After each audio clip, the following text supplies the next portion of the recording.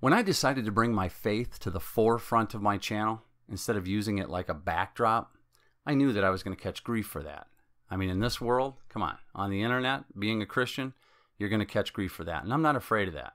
In fact, I would turn this around eh, just using logic and say if you're coming here to listen to me, to get my views, to get information from me, you should know that I'm a Christian. You should know that that information and that dialogue is coming from a Christian. Now, what I also expected and knew was going to happen that a lot of that grief will come from other so-called Christians. Christians right now are are more fractured than they've ever been. The church is really at odds with each other. In fact, Christians are more likely to attack each other than problems or wickedness in the world. That seems to be what they're they have a propensity to do now more than ever. I think uh, it's easier to attack other Christians than it really is to face the evil in the world. But a lot of people that call themselves Christians are really not living a Christian life. And I'm just going to bring one example, maybe two up to you. If you're going to call yourself a Christian, you got to know what that means. That means you're following Christ and his commandments the best that you can. You got to follow Christ and his commandments. And just one of his commandments is that you are a part of the church. You're a part of the body. That doesn't mean that you have to go to a brick and mortar church, but you have to fellowship with other Christians. With only a couple videos up, I've already had to kind of go back and forth in the comment section with several people on this. There is no option to do this on your own. Now, I go to church at least once a week. I love meeting with other Christians and worshiping Christ together. It's it's great. I can't even wait to get back there on Sunday. My wife feels the same way, and I'm hoping my kids aren't faking and They seem to really enjoy it as well. There's nothing like getting together in fellowship. Jesus knew that. That's why he told you you have to do that. There's not an option to go on your own path. There's not an option just to do it yourself. You're going to be weak and alone, and really you're dead when you're on your own. If you're not part of the body, you're dead. You're not growing. I know this because I've been there. I'm not going to go into it, but I know this as a fact. And it was really hard for me because I'm so independent minded. And uh, it took a it took a long time. It took me a while to try to get into that. But I can tell you, using Scripture, using the commands of Christ, that you have to be a part of this body. And fellowship and the and the church and the body and the bride, it's all the same. And it has nothing to do with the brick structure. When I go to church, I'm, I'm probably there with a thousand people or more. But you can go to church with two other people or one other person. Whenever two or more of you are together, that can be fellowship. You have to have fellowship. If you don't have accountability, you're really not part of the body and you're really not following Jesus. You're not following Christ. He's not going to know you if you're not part of the body. You have to understand that. I mean, other ways that I get into trouble being a Christian with other Christians, of course, if they went to seminary, if they belong to some theology or seminary and they've been taught something. I mean, if you've ever talked with somebody from seminary, you'll know that it's probably one of the worst Christian experiences you can have because they've been taught something by somebody else that may not even apply to these times. It's some kind of theology, and uh, you can get into huge disagreements there as well. I don't belong to any theology. I don't belong to any religion. Uh, I'm not interested in what your seminary taught you. I'm interested in Jesus. I'm interested in Scripture. And I'm going to test everything against that. I don't belong to a religion. You have to understand religion to me is some kind of structure or rule, man made rules based on the hope that you can jump through enough hoops and do enough things to become a better person or to become pure or to become holy. And that includes a lot of secular religions. You know, evolution's hoping eventually mankind, you know, uh, evolves to a high enough level. You know, they got to work for it. They got to get there somehow. Maybe, maybe they'll be able to do an app or a download, and we'll finally be able to come become holy, or pure, or smart enough so we can purge the the bad stuff. You know, it's religion is a work of one kind or the other to try to be God or meet God. I don't belong to religion. I'm following Jesus. It's it's the only hope that I have. Are you listening? I'm not telling I'm not asking you to come with me. It's it's the only hope that I have. And and I know it to be true. That's that's what I'm doing. So I'm putting this uh, this next sermon up that I heard on Sunday because it was such a fantastic sermon, and it talks about belittling or uh, attacking the church. And there are churches, there are individuals that call themselves Christians that are dead. They're away from the body. They're never going to grow. They'll make every excuse up for it. They'll say, oh, I can't find a church. I don't have time for that. They'll serve the world all week, but they don't even have a half an hour or an hour to spend with God. And they'll make every excuse because if they go there, they might get called out. That's the problem. I guarantee you it's pride. They, there might be accountability, which is what the body is all about. If they go to church, they some of the ideas that they have, it might get called out. Or, God forbid, you have to give a portion of your earnings back. That's another commandment that a lot of Christians have issues with. You know, God, if you look at it that God has given you everything, God's given me so much, and He's asking for a small portion to go back. I don't even think about it. I don't think about it giving it to uh, the church. I think about giving to Jesus. And that that also I have uh, I have faltered in. I haven't always believed that. But I'm going to tell you, no matter what excuse you make up, well, I just don't feel like it. I don't feel like I have to at this time. You have to give a portion of your time or treasure back to be a follower of Christ. There have been times in my life that I have used, uh, that I've given my time. I'll volunteer. But you better tally that up and make sure you're giving the right portion back because he's not going to trust you. If he gives you a little bit and you can't you can't do it right, he's not going to trust you with a lot. Or worse yet, you're just being strung off into the world because you want your stuff. You're trying to hold on to your stuff. Anyway, I don't want to digress too far with this. I'm I'm just speaking my mind. Um, but I don't want to bump up every time I bump up into somebody's idea of what a Christian is. I want to test everything against Scripture. I'm trying to put this out here, not really for the guys that are non believers, but I'm talking to you believers right now. You know, I don't want to argue with you about how you feel or this or that. I want to test everything against Scripture. I think that's uh, 1 John 41. Test everything against Scripture. And Scripture tells me that I have to be, as, as much as the, the guy in the world doesn't want this, I have to be part of this bride, part of this church. And I have to have fellowship with other Christians. And again, I think I kind of digressed off of that, but there can be individuals that are dead apart from the body, and there can be whole brick and mortar churches that are dead and apart from the body. You have to find a church that is part of the body. You have to find fellowship with Christians that are part of the body. There's lots of Christians out there that are just calling themselves Christians, and they are not. They are not following Jesus Christ.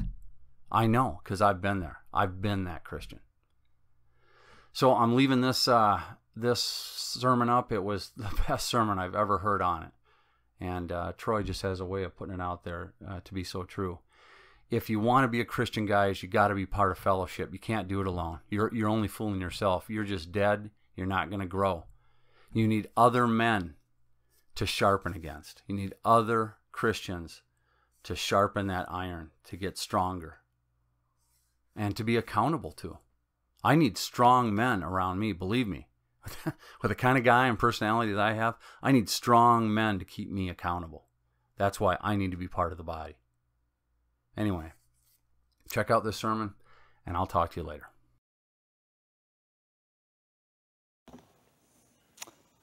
Good morning, Grace Church. It's good to see you. Welcome today. I want to welcome those in the chapel, all those who watch online today.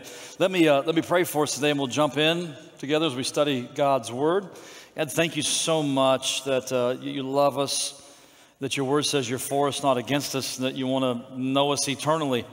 So, whatever it is we don't know today, we pray you would teach us and tell us whatever it is we don't have today and we need to be more effective on our journey. Would you please give that to us today? And whatever it is we're not and that we need to be or become to be more like Jesus, would you make us today? We pray this in Jesus' name, and all of God's people said, Amen. Well, listen, I, I want to start today by telling you listen, I love the church, period. I love the church of Jesus Christ. And, and biblically speaking, every Christian should. Unfortunately, every Christian doesn't. And, and I want to share with you today really kind of a, a growing concern and burden that, that, I have in my heart regarding what I see as it pertains to the, the landscape of the church of Jesus Christ. You know, I, I see that there is this like there's this growing number of like self-proclaimed Christians trying to do Christianity without the church. A, a church-less Christianity, if you will.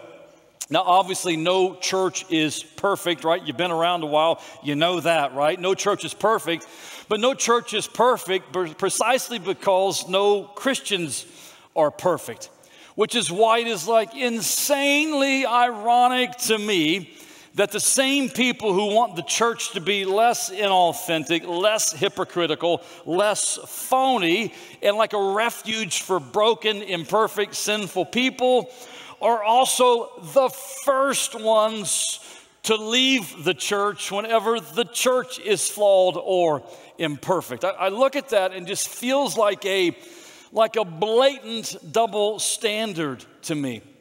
This week I, read a book called Why We Love the Church, and, and in this book, the authors Ted Kluck and Kevin DeYoung said this. They kind of elaborated really on the aforementioned when they said, People, people bemoan the overprogrammed church, but then think of a hundred complex, resource draining things the church should be doing.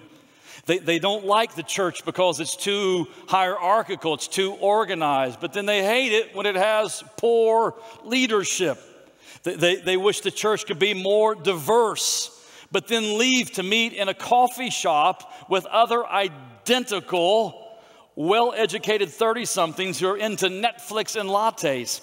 They, they want more of a family spirit, but, but too much family, and they'll complain the church is, is inbred. They want the church to know that its reputation with outsiders is like terrible, but then they're really, really critical that the church is too concerned with appearances. They, they chide the church for, for not doing more to address social problems, but then, but then complain when the church gets too political. They want church unity and, and, decry denominations, but fail to see the irony in the fact that they have left the church to do their own thing because they can't find a single church that can satisfy them. They're critical of the lack of community in the church, but then want services that allow for individualized worship experiences. They want leaders with passion and vision, but don't want anyone to tell them what to do or how to think. They, they, they, want a church where, where people know each other and really love and care for one another, but then complain that the church is an isolated country club only interested in catering to its members. And, and the list, quite honestly, like goes on and on and on. And just for the record today, like I'm, I'm completely good with honesty. Like I'm completely good with looking at the brutal facts and assessing and evaluating but how about like just a little consistency, right? Like, how about a little self reflection? How about like a little resiliency? How about a little grit? Like for me, like why why the impatience with the local church? So, so in, in my experience, I, I've been a senior pastor now for about 23, 24 years, and in my experience, there are like five distinct people groups within the church within the church, there's, there's the committed. The, the church, I would say this church has lots of like really, really committed to people. People who love Jesus Christ, who love the world, who love lost people, who love each other, who want to make a huge dent in the world, a huge difference in the world. And to the committed, here's what I would say. I want to get, like, say a huge thank you to you. Like, you make the church awesome.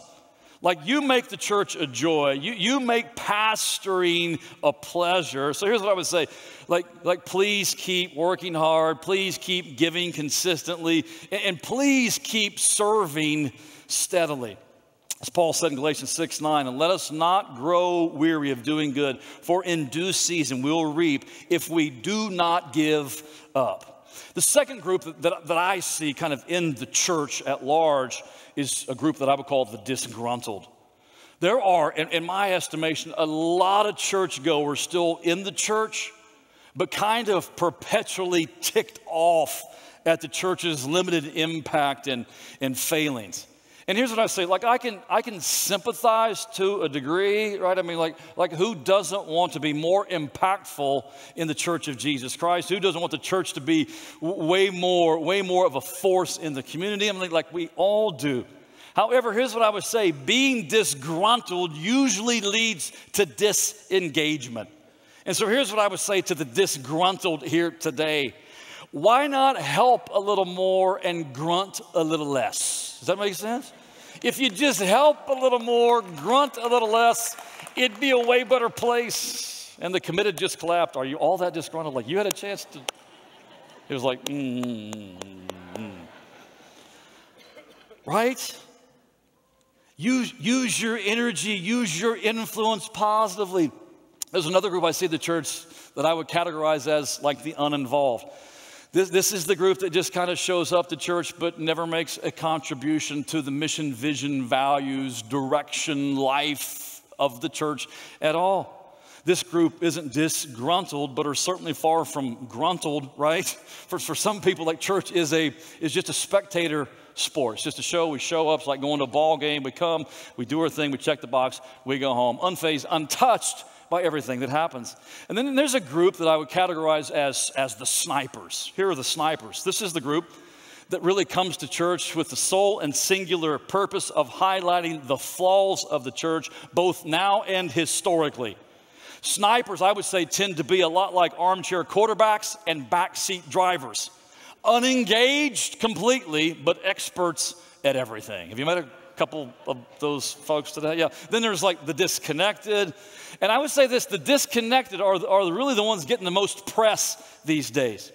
These, these are, are the Christians, or I would say even ex Christians, who've kind of like written off the church for, a, for an individualistic spirituality. It's kind of the, uh, I, I, I found God on the golf course, like I connect with God at Starbucks or in the mountains or on the lake kind of a thing. And personally, I just, I just see like a growing movement amongst a lot of people to try to find relationships without accountability and to find God without the church. Now, listen, I realize it's really easy to malign and critique the church, but let me remind you when you became a believer in Jesus Christ, when you became a follower of Jesus Christ, you became the church in that moment. How many of you know that? Like the church is not a building, and I'm not like down on the buildings, but the church is not a building. The church is the people. We are you and you are us. That's why I love the corny question. I get it's a corny question, but I love the corny question. What kind of church would this church be if everyone in this church were just like me? That's a good question, by the way. A little corny, a little cheesy, but it's really a good question. You may even write that down. Like, what kind of church would this church be if everyone in this church were just like me? And the truth behind that is, is this that the church is, is always a reflection of us. And so for me, I kind of laugh, and here's why I laugh. To despise the church is actually an indictment on yourself. So you can't stand outside of it and poke holes at it. You are the church. We are you, and you are us. So, so let me give you today, let me give you a different way, a better way, I think, to think about all this. Dietrich Bonhoeffer said this. I want you to think about this. It's a great thought. He said, What if we're meant to demonstrate the presence of God in the world by joining a visible institution, the church?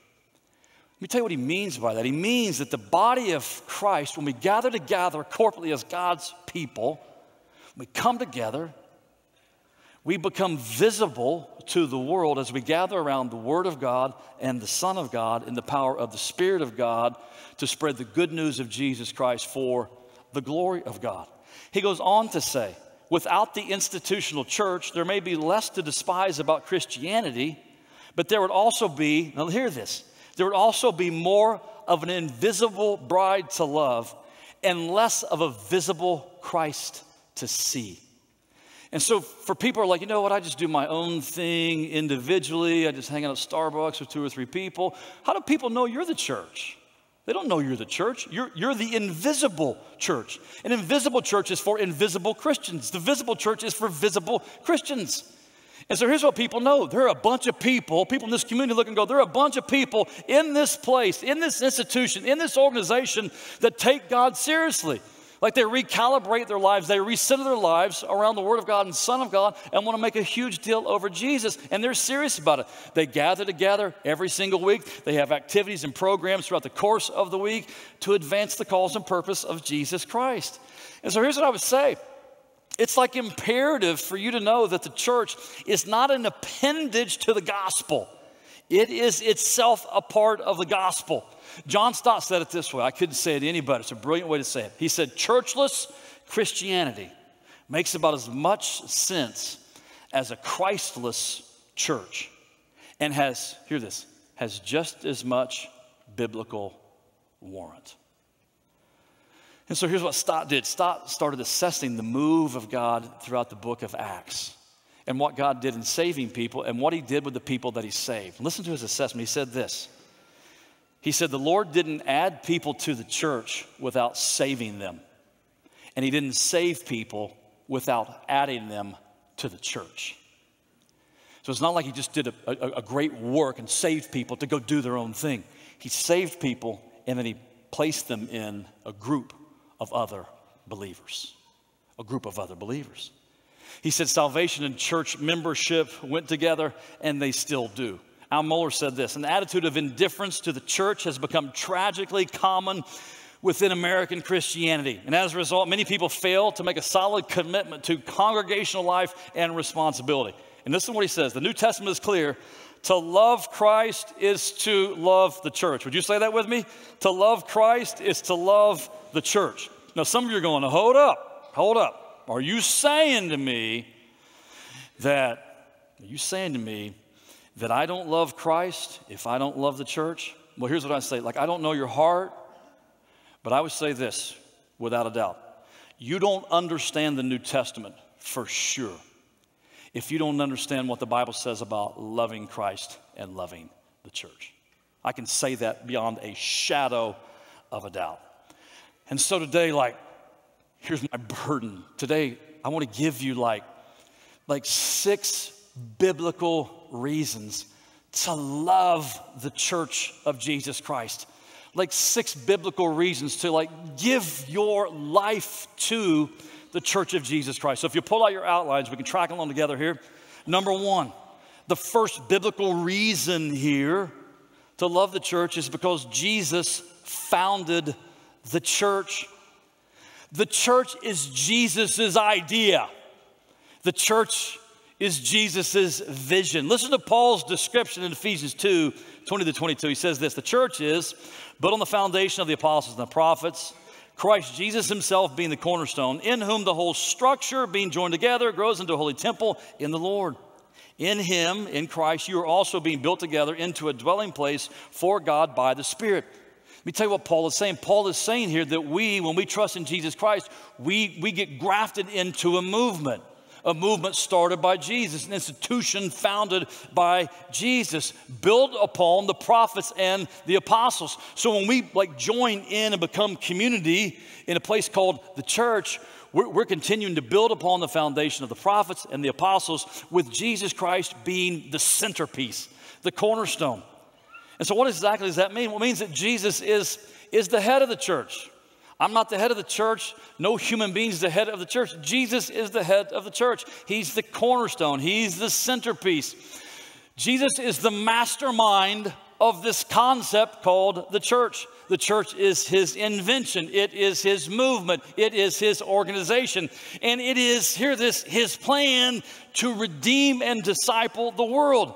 And so, listen, to malign the church is to undermine the founder of the church, Jesus Christ himself, as well. I mean, just, just think about it logically for a moment.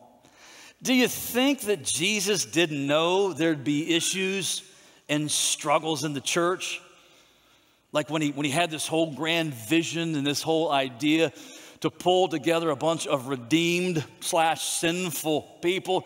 Do you think that, that we, we caught him off guard? I mean, he absolutely knows that we're going to deal with issues and struggles, and yet he still chooses to use people to advance his mission. And so, listen, we should, one reason we should love the church is because Jesus created the church. Jesus founded the church. I hear people say, like, well, I, I planted the church. You didn't plant a church, Jesus planted the church. It's all his vision, it's all his idea, it's all his movement. The second reason that every Christian should love the church is because Jesus died for the church. Jesus founded the church and Jesus died for the church.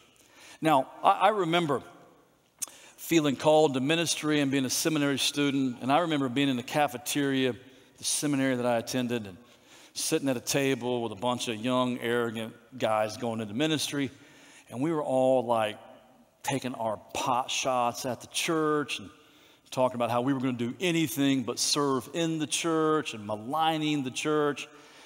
And I remember a professor overheard the conversation and said something to the effect of this How dare you, how dare you denigrate what Jesus gave his life to create?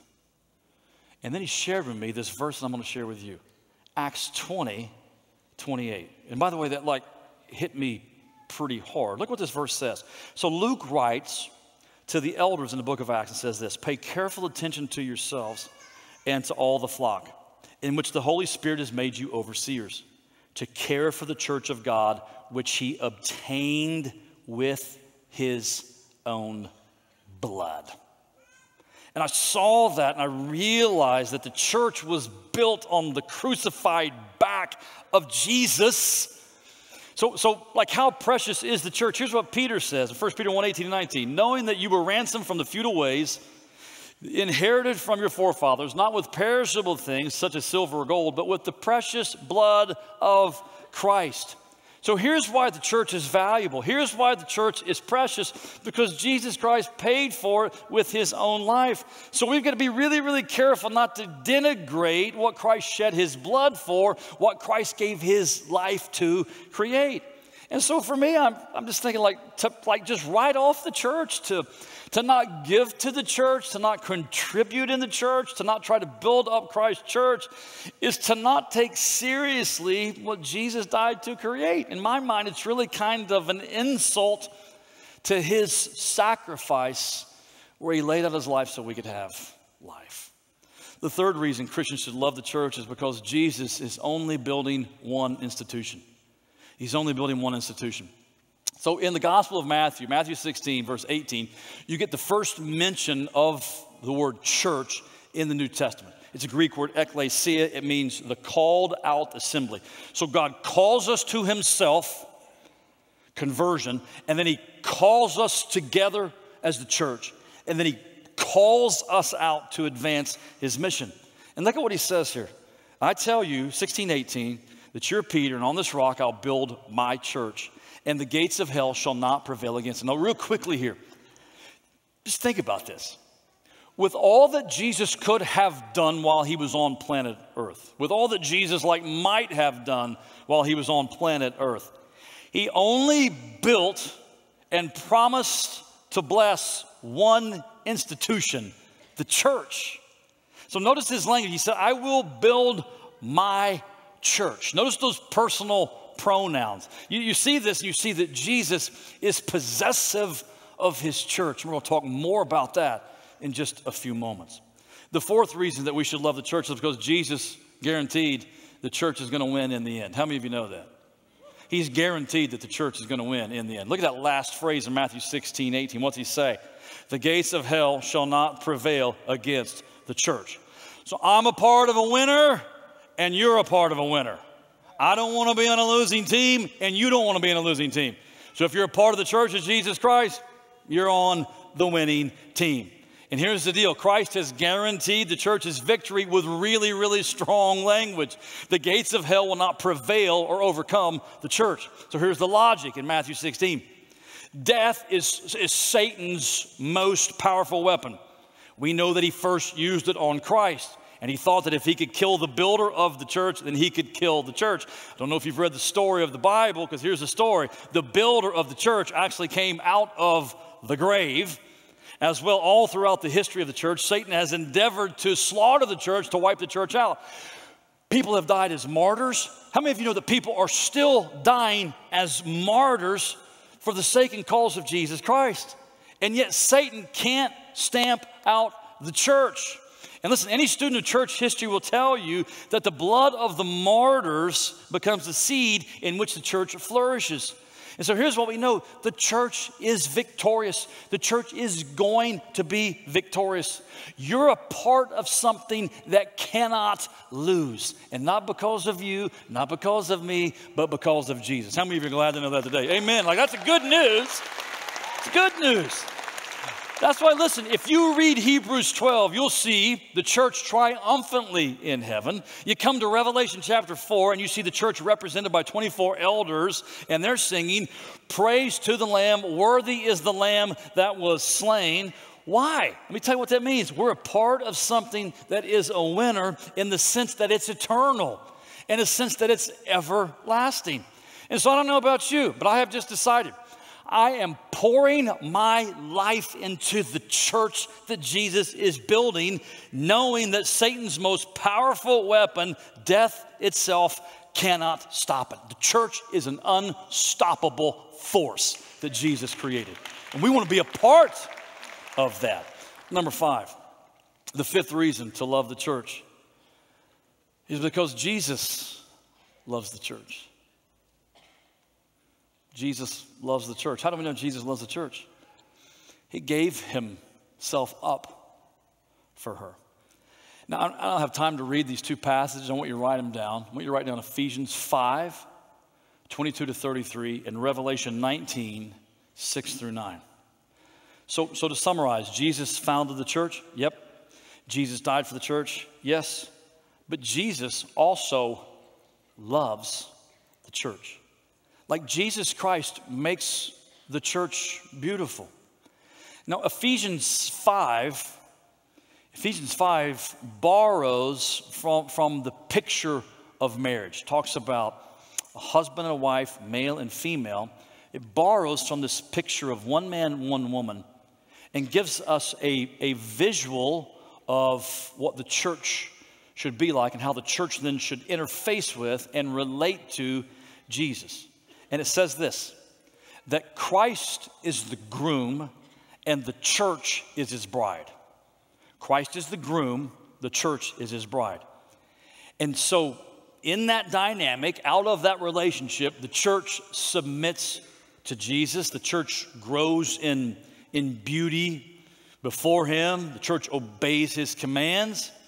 And in a sense, just like in marriage, a male and female, husband and wife become one. In, in a sense, spiritually speaking, Christ being the groom, the church being the bride, the, the two are also one now in preview and later in fullness, but they're still one. So, so we, the church, Jesus the groom, are, are to be as inseparable as husband and wife.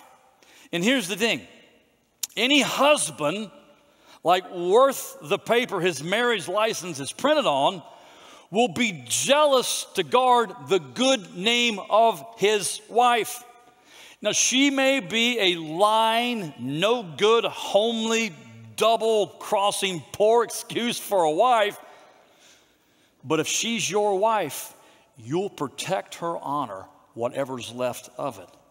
And woe to the friend who comes around your house, hangs out at your house, and expects to have a good time at your house, all the while taking digs and shots at your bride. I mean, like, who wants a friend who rolls his eyes and sighs every time your wife talks or walks into a room? Like, no one, right?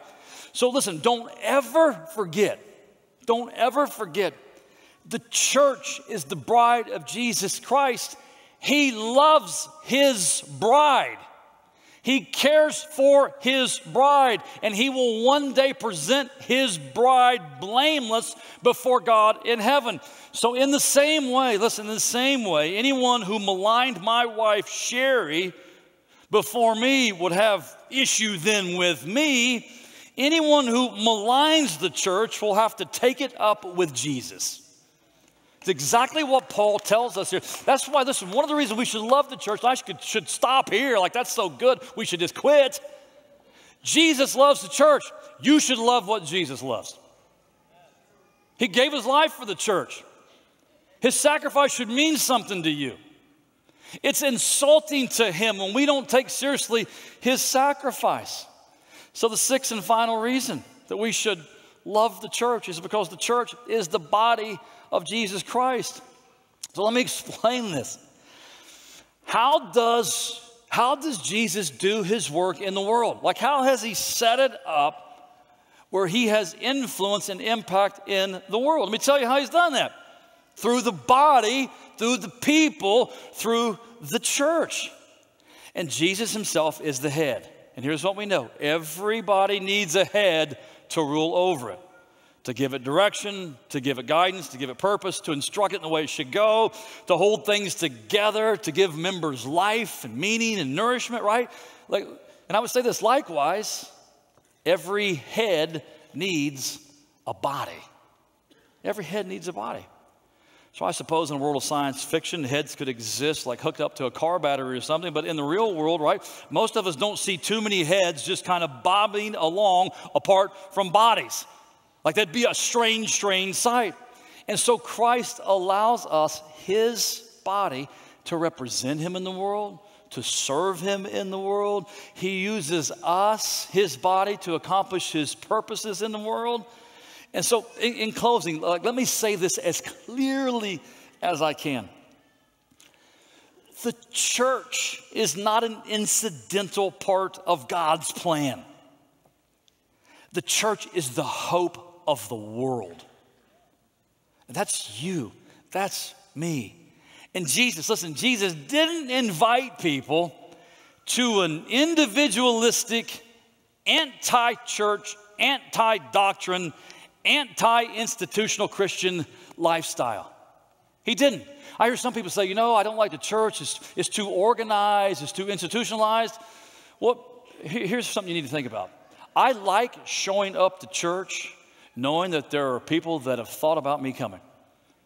I like showing up to church knowing that, uh, that there are going to be children workers in the nursery. So when I drop my kid off, there's someone to care for that person. And so this whole idea that we have to be free flowing, you know, ooey gooey. Listen, you got to have a little bit of organization to make the thing go. And that shouldn't be something that, that you despise. It should be something that you actually celebrate. And so here's what we know like Jesus called the church out. He called us to be his bride. He called us to be his body. He called us to represent him. He called us to advance his agenda. He called us to be his ambassadors. And so, can I say this? Don't give up on the church. Like, don't give up on the church. It's God's plan of redemption for the world. Moreover, listen, the New Testament knows absolutely nothing of this, this church-less Christianity. The invisible church is for invisible Christians. The visible church is for you and for me.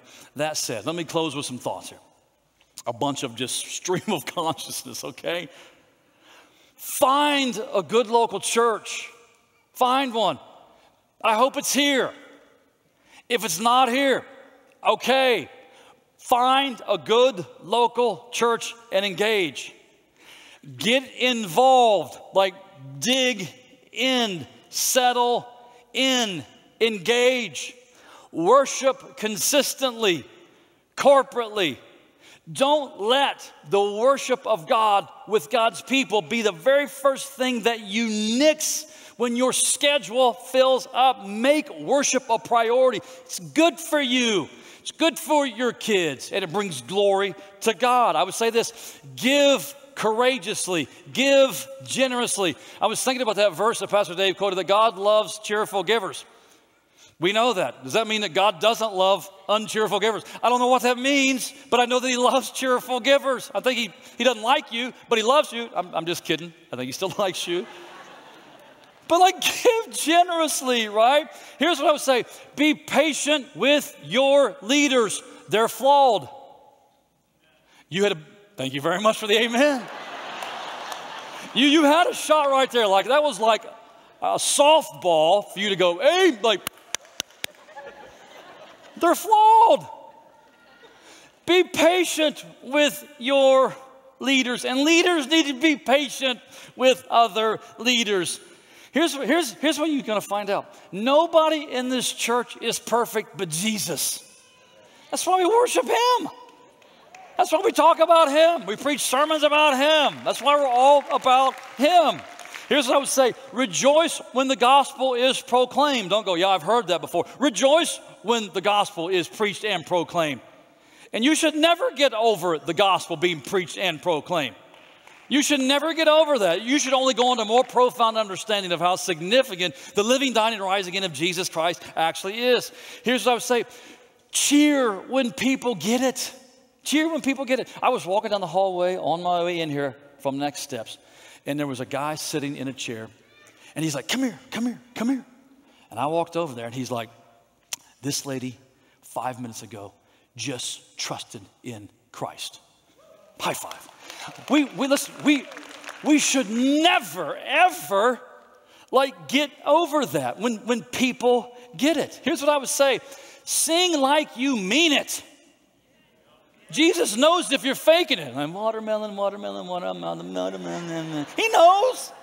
Sing like you mean it. Here's what I say serve in the nursery once in a while. And all the young mamas said, Amen. Like, give them a break. Don't go, man, I'll serve anywhere but in there. You, you should want to get your hands on that next generation. And we can learn a thing or two about the humility and the beauty of those babies. Amen. The one thing you learn is that there is a sin nature in a two year old. How many of you know that?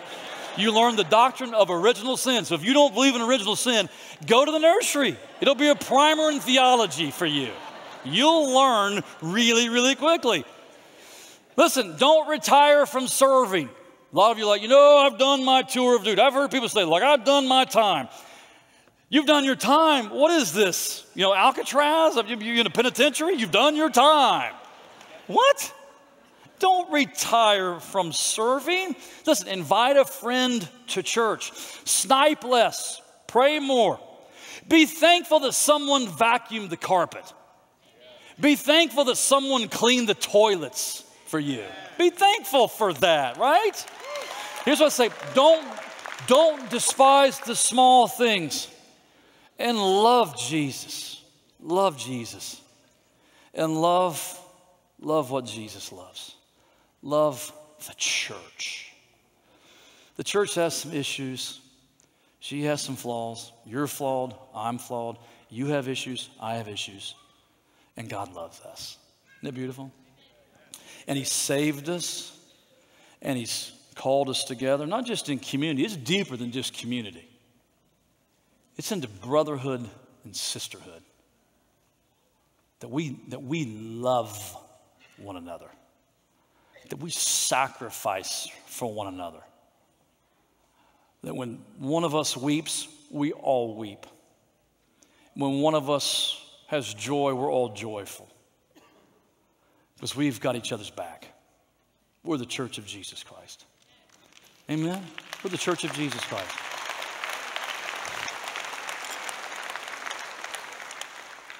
And so maybe today, as we pray, maybe you just like need to like repent of like your lack of engagement, your lack of involvement. Maybe you like like me need to repent of like taking shots at, maligning The body of Jesus Christ, the bride of Jesus Christ. Jesus the groom, we're the bride. You're talking about his bride. Think about how offended you would be, men, husbands, if someone were maligning, taking shots at your bride. I mean, we would have to hold you back. We would. So maybe you need to re- repent of maligning Christ's body. Maybe today some of you are like, you know what? Like, count me in.